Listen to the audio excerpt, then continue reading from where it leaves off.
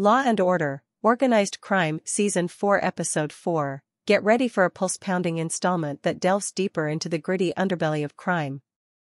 Release date, mark your calendars for Thursday, January 18, 2024 at 10 00 p.m. Eastern Time slash Pacific Time.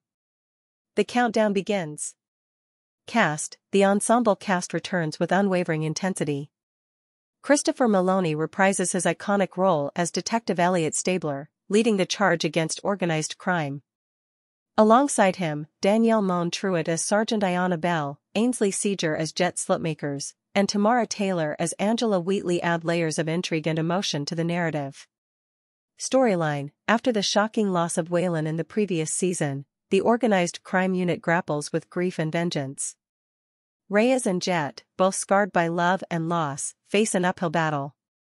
Reyes's refusal to unplug Waylon's life support reverberates, and questions arise about Waylon Sr.'s involvement.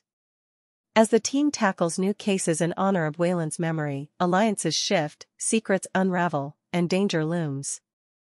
Brace for twists, turns, and heart-stopping revelations.